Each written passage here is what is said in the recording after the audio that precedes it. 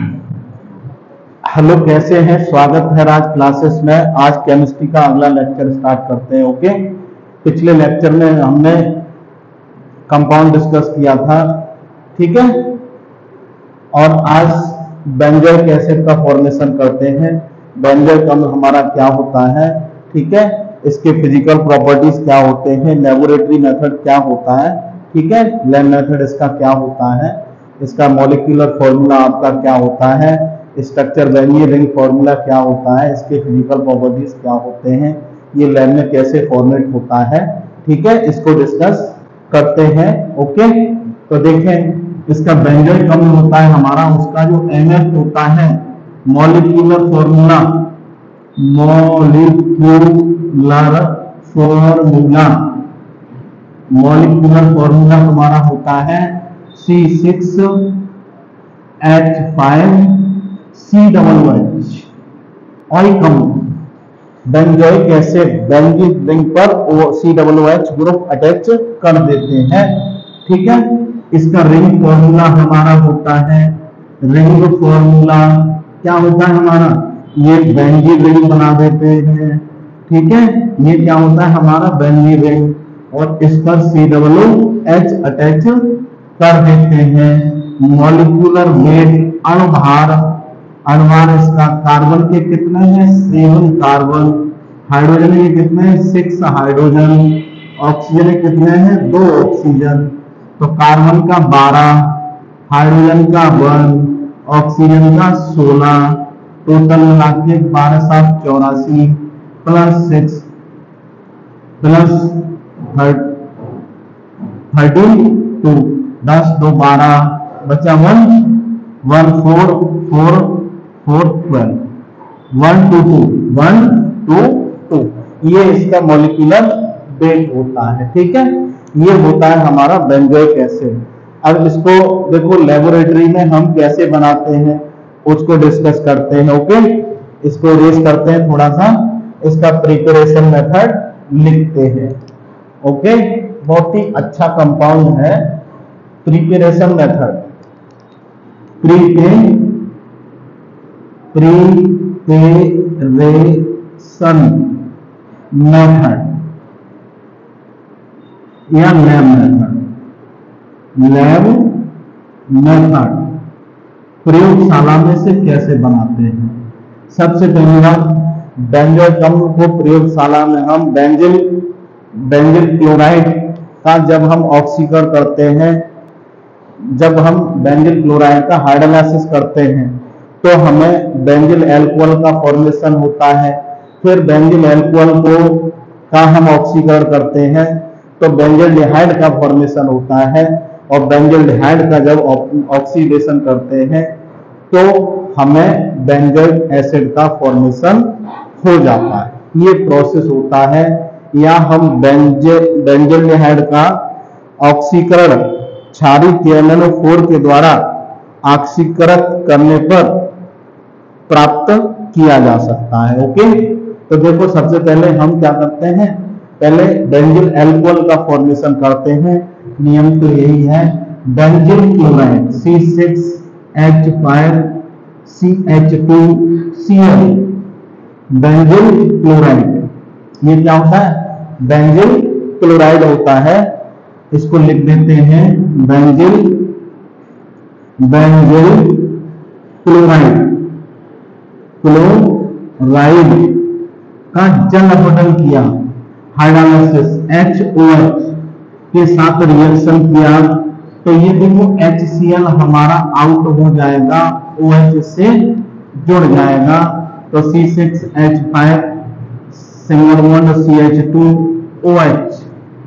Bond CH2OH plus HCl बन जाएगा। ये बेंजिल एल्कोहल होता है तुम्हारा। बेंजिल एल्कोहल एल्कोहल होता है। ठीक है? अब बेंजिल एल्कोहल से बेंजिल एल्कोहल बेंजिल एल्कोहल का जब हम ऑक्सीडेशन करते हैं ऑक्सीकरण करते हैं तो हमें क्या H2O बाहर हो जाता है। H2O बाहर हो जाता है। ये H2O हमारा बाहर हो जाता है और C6H5 CHO का फॉर्मेशन हो जाता है। H2O ये बेंजिल बेंजेल्डिहाइड होता है हमारा। बेंजेल्डिहाइड बेंजेल्डिहाइड का फॉर्मेशन हो जाता है। बेंजेल्डिहाइड C6H5CHO बेंजेल्डिहाइड का ऑक्सीकरण क्षारीय KMnO4 क्षारीय KMnO4 के द्वारा इसका ऑक्सीकरण करें। क्षारीय क्षारीय KMnO4 KMnO4 के एल एल ओ फोर के द्वारा इसका ऑक्सीडेशन करते हैं। तो ये OH O इससे मिल जाता है और C6H5 C double O H का फॉर्मेशन हो जाता है। इसको कहते हैं हम बेंजोइक बेंजोइक एसिड या बेंजोइक अम्ल बेंजोइक बेंजोइक बेंजोइक एसिड या अम्ल बेंजोइक अम्ल का फॉर्मेशन हो जाता है। अब कभी कभी बच्चे बेंजिल बेंजिलहाइड का ऑक्सीडेशन करके बेंजोइक एसिड का फॉर्मेशन करते हैं, लेकिन आप तीनों ही रिएक्शन इसको प्रिपरेशन मेथड में लिखना, तभी मार्क्स मिलेंगे आपको, ठीक है? आप इन्हें अच्छे से लिख लें, कर लें स्क्रीन शॉट ले लें, इसके फ़िज़िकल प्रॉपर्टीज़ लिखते हैं, ठीक है? ठीक है भाई? हाँ इसका स्क्रीन शॉट ले लें। इसके फ़िज़िकल प्रॉपर्टीज़ की बात करते हैं। डायग्राम से बनता है स्टैंड होता है बीकर होता है फ्लास्क होता है। ठीक है? अब इसके यूज़ की बात करते हैं। यूज़ नंबर फ़र्स्ट यह है क्रस्टली होता है ठीक है?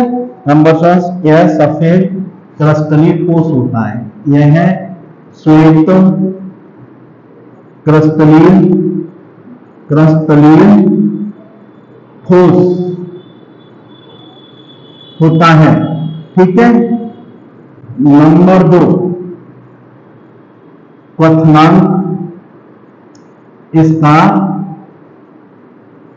इसका जो क्वथनांक होता है, वो 122 डिग्री सेंटीग्रेड होता है। क्वथनांक 122 डिग्री सेंटीग्रेड होता है।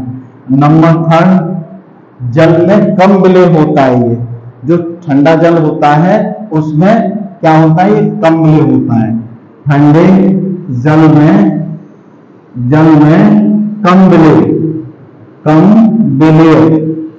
और नंबर फोर, गर्म जल में, गर्म जल में अत्यंत विलय अत्यंत विलय होता है।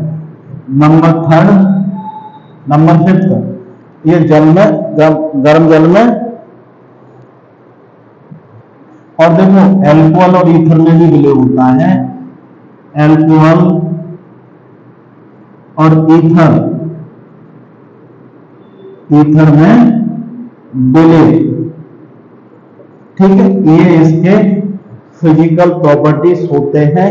ठीक है? ये इसके क्या होते हैं? फ़िज़िकल प्रॉपर्टीज़ ओके अच्छा।